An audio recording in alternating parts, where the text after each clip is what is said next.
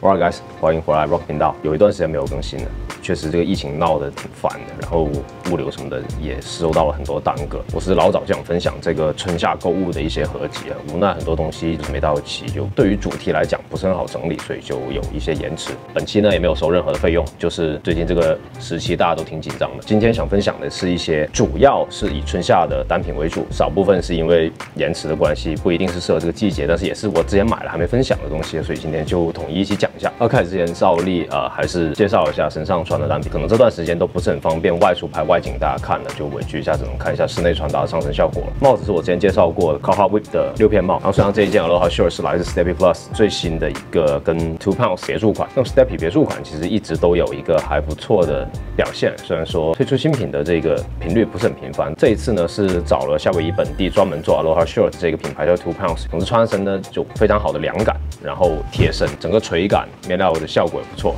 然后图案印刷的位置竟然还能做到对色 Tops 的所有衣服基本都还坚持在夏威夷生产，所以我觉得这个味道还是挺对的。身上穿的这个是 M 码的效果，那是这件 Postcard Aloha Shirt。那我们还是先从鞋款开始讲起好了，鞋款应该是比较多人想看的内容。服饰方面我就放在后面，首先就是这一双 Reebok 的 Zig 3D Storm Hybrid。你看一下鞋盒，鞋盒长这个样子，就没有太特别的地方，货号在这里。这一双鞋其实下单的时间是去年哦，不不应该是去年，是春节前下单，一月二十几号下单的，我记得。然后这双鞋我实际拿到手是三月出头才拿到，等了超级超级久。然后三月出头，你们也知道，我当时不在家这边，我去了杭州参加扫墓的活动。真正回来的时候，这双鞋真的都是三月中的时候了吧？所以这个非常长的收货周期，导致了我对这双鞋有一种莫名的期待。我会觉得它可能会特别好看或特别好穿。用实际拿到手呢，设计。我是挺喜欢，确实不错，但是做工真的是一言难尽。现在 Reebok 这个公司属于已经被 Adidas 转手卖给这个叫 ABG，对吧？没记错的话。那这双鞋呢，其实还有浓浓的在 Adidas 的影子啊。这双鞋设计师呢，现在也已经离开了 Reebok，去了 Crocs。还是先来看它外形好了。那么你可以从这鞋的外观看到，它还是有很多 Adidas。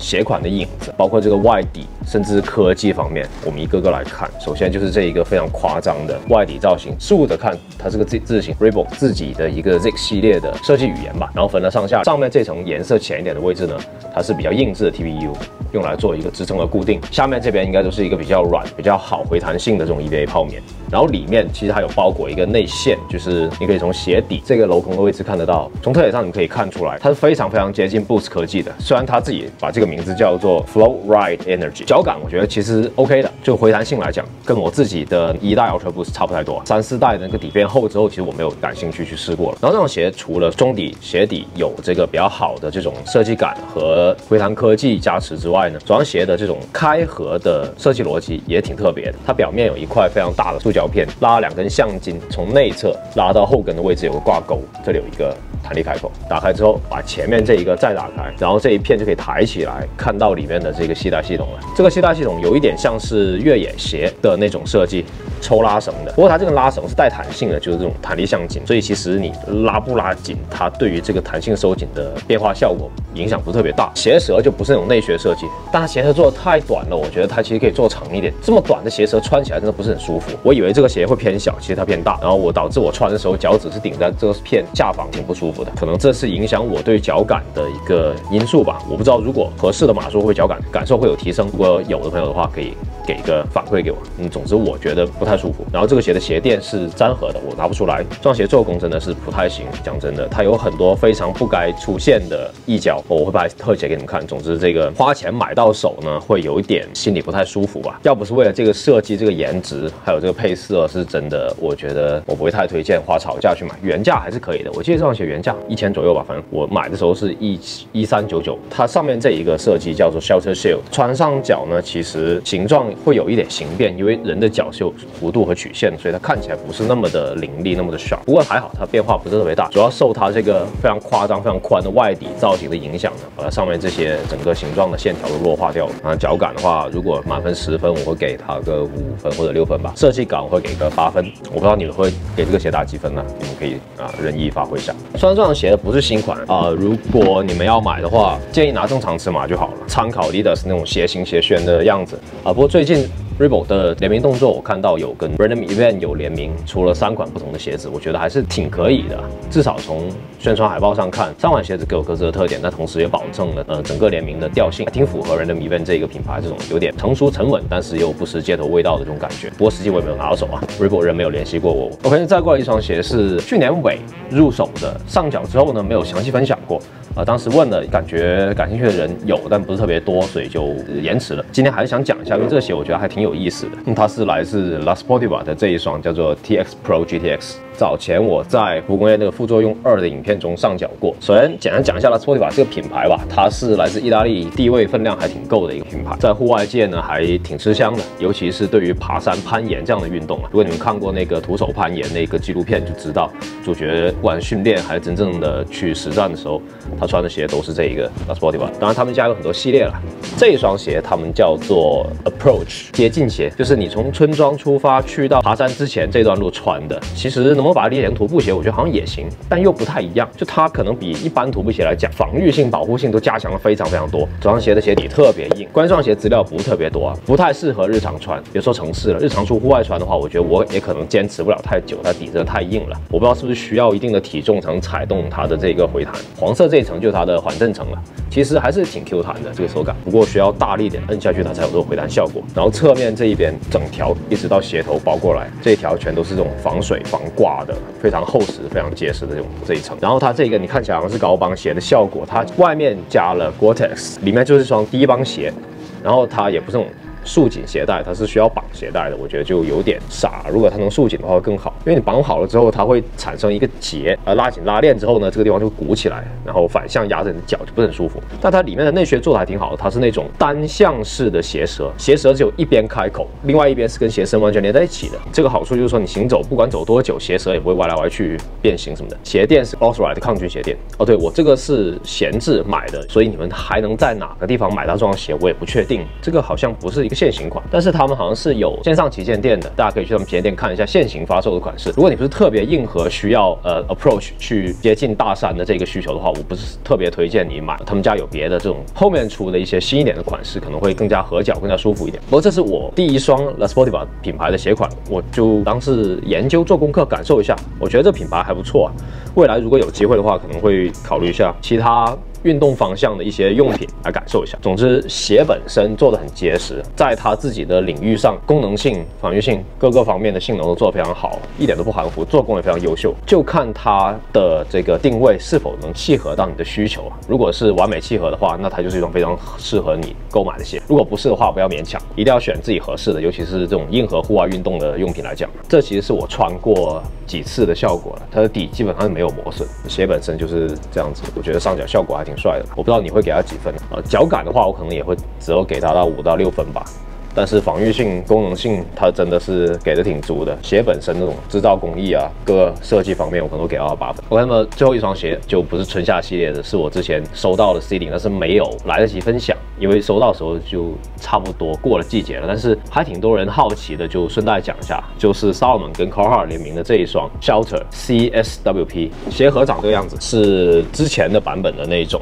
呃，限量款的鞋盒，这是货号。我当我收到这双鞋呢，正好正好是过年期间广东最冷的时候，大概晚上就是两度左右，还要下雨，就挺夸张的。我就穿了几次，我觉得还不错，不管是脚感也好，保暖性也好，然后包裹感或者是防御的性能也好，这双鞋综合分数还都挺高的。颜值你喜不喜欢这个，我只能说是看个人了。我觉得配色就还挺卡哈的。当然，这双鞋非联名的版本也有，大家可以去找找看，也有蛮多挺特别、挺好看的配色。这个配色不能说。是这款鞋上最好看的，但我觉得它是最适合这一次联名的一个呈现效果吧。这双鞋在 Solomon 分支里面算是冬靴 Winter Boots） 如果你在官网点进这一个分支，是可以找到这个鞋款。它本来是有一个贴纸在上面，上面写了它最适合的温度，当然也取决于你所在的地区啊和实际体感温度，这只是一个参考。这双鞋还有一个比较特别，除了说它有一个呃软壳鞋身和防水科技之外呢，它有一点绝缘的效果。当然我也不是什么电力学专家，我不确定它的绝缘效果是否符合电力施工的这个标准，只是说它作为一个噱头存在，我觉得还挺有意思的。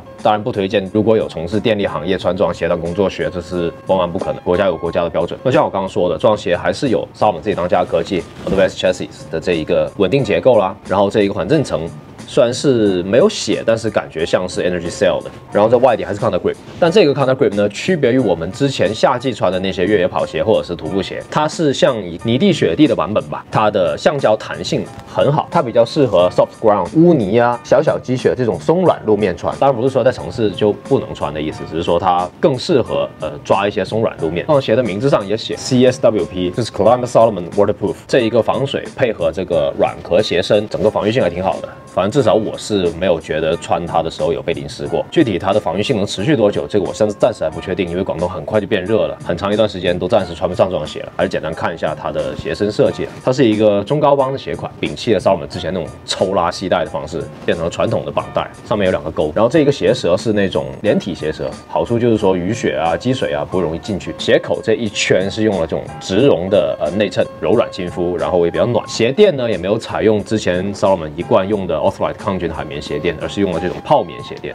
官方说法应该就是比较保暖吧，当然透气性会下降。鞋垫表面的这个图案是用了一个什么印尼的雨林迷彩。鞋身表面这一圈，从鞋头开始一个非常硬的保护层，一圈到鞋后跟。